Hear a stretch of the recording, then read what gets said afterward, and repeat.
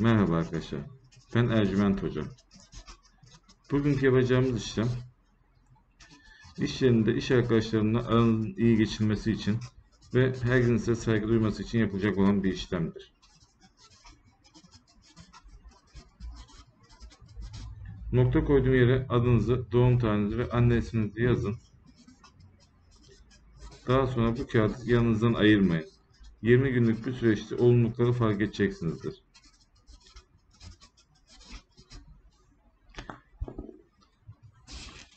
Ayrı özel bir işlem yapmak isterseniz bana WhatsApp üzerinden ulaşabilirsiniz. Merhaba arkadaşlar. Ben Ercüment Hoca. Bu işlemimiz bakır büyüsü işlemidir. Eğer ki birisi bakırlarla kendini aşık etmek için işlem yaptıysa bu işlemi bozmak için yapılacak olan bir işlemdir bu. Nokta koyduğum yere adınızı, doğum tarihinizi ve anne isminizi yazın. Daha sonra bu kağıdı evinizde yüksek bir yerde saklayın.